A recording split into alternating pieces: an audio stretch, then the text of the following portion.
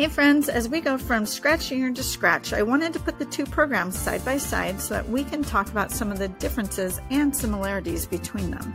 This is not a comprehensive video, it just has a couple highlights so you can feel comfortable going from Scratch Junior to Scratch. So let's get started.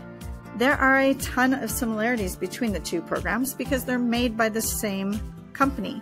Scratch is basically a fuller version, bigger version of Scratch Junior and they are both block coding programs, which means they both start with a sprite or a character that we then pull down blocks and put in a sequential order, which is giving them an algorithm that they can follow.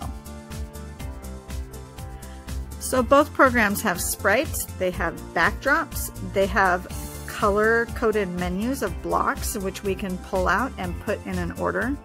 They both allow us to do two sets of instructions or more called parallel coding. We can make our sprite walk and jump and talk all at the same time in both programs.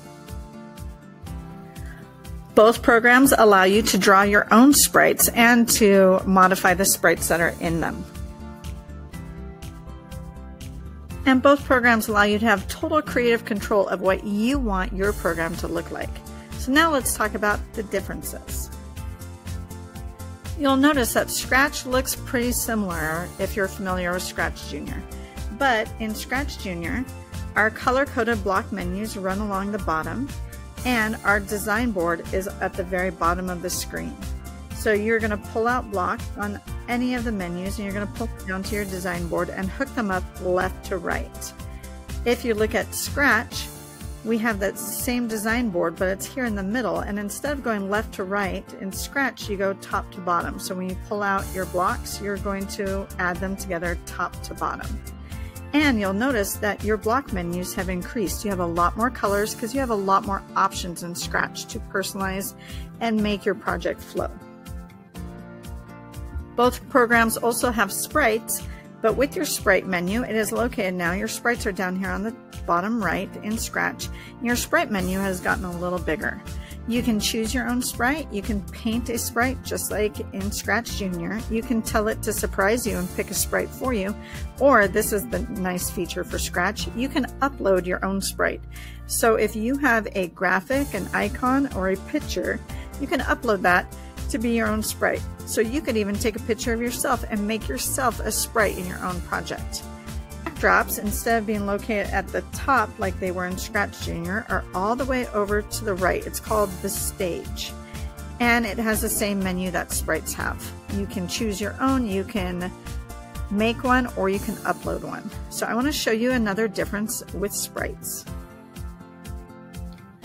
The sprite menu in Scratch is huge. That's why it has all of these custom categories up top so that you can kind of narrow it down. But you'll notice as I go over some of these sprites, they move because they have something called costumes, which allows your sprite to be in different positions or in some sprites it's different colors so that you can have a more realistic and dynamic effect with your sprites. And one of the biggest changes that between Scratch and Scratch Junior is that you can share your project with your friends. You can take your file and you can save it down to your computer and then you can send that file to a friend. You can upload it to your Google Drive and send your friend a link and then they can upload it into their own CS First Scratch program and then they can use yours. You can make a copy of your program and they can use it as a starting point for theirs or they can just have fun with it. Essentially, anything you can do in Scratch Junior, you can do in Scratch plus more. So I'm going to show you a couple of the things. I'm going to make my stage big and I'm going to click on my green flag here. So I start out with Scratch. I can make him say hi and then I think maybe it will start him walking. So he's doing a costume change so it looks like he's kind of walking. I'm going to add some backgrounds. It's just going to cycle through all the backgrounds that I want to cycle through. He is having a fun time walking through everything. You can, with your parallel code, with all your coding, I can make him jump. I can make him change colors. I can make him do flips. And I can even start some music. You can add other sprites as you want. and you can make it as customized as your imagination allows. So I want you to be excited to go into Scratch and be ready to come have fun.